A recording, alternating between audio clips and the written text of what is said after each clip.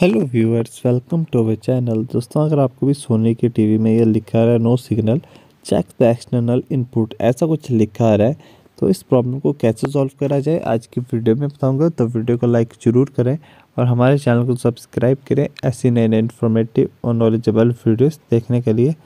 तो इसको सॉल्व करने के लिए कुछ सिंपल स्टेप उनको फॉलो करना है और आपकी जो प्रॉब्लम है वो सॉल्व हो जाएगी। तो वीडियो को लाइक ज़रूर करें।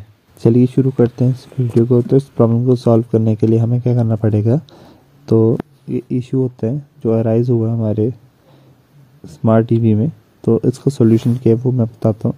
तो सबसे पहले तो आपको क्या करना है, जो आपको जो केबल है, उस डिस्कनेक्ट करनी है, इससे सारी चीज़ें डिस्कनेक्ट करना है और एक बार फैक्ट्री रीसेट कर देना अपने टीवी का।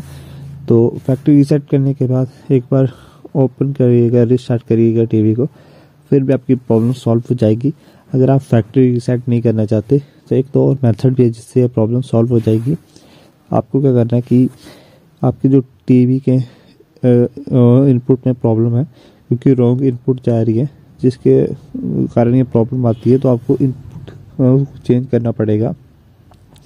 तो क्या करना पड़ेगा आपको आपको जो इनपुट है, उसका जो पोर्ट है, उसमें एक ऐसी केबल लगानी पड़ेगी जो ठीक से वर्क करे तो आपको अपने हर साइड टीवी के देखने की जो इनपुट बटन है और एच पोर्ट है, वहाँ पे एक बटन होगा, उसको प्रेस करना है। और अगर आपको बटन नहीं दिख रहा वहाँ पे तो आपको टीवी रिमोट से क्लिक करना है और इनपुट बटन पे क्लिक करना है। और उस पर क्लिक करने के बाद आपको क्या करना है? आपके जो वर्क करना स्टॉप कर देगा और आपको वहाँ पे देखना कि आपकी सिग्नल अच्छे से वर्क कर रहा है नहीं।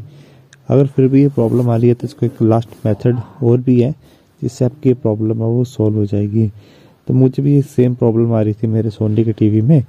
तो मैंने जब टीवी को टर्न ऑफ़ किया चार घंटे के लिए तो नो सिग्नल बता रहा था। तो मुझे लगा कि मेरे वर्जन में कुछ प्रॉब्लम है इसके। तो मैंने क्या किया, एक रिक्वेस्ट की उनके न्यू सेट ऑफ़ बॉक्स के लिए। मैंने उस सेम सेट बॉक्स को कनेक्ट किया किसी अलग लोकेशन पे तो प्रॉब्लम चली गई थी।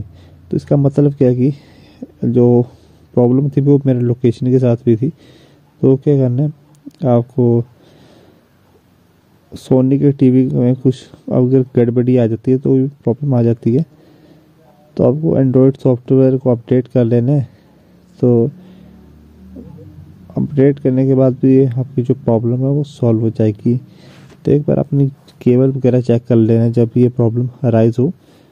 तो होप करता हूँ कि वीडियो पसंद आई होगा। आपको अगर वीडियो पसंद आए वीडियो को लाइक करें और चैनल को सब्सक्राइब करें।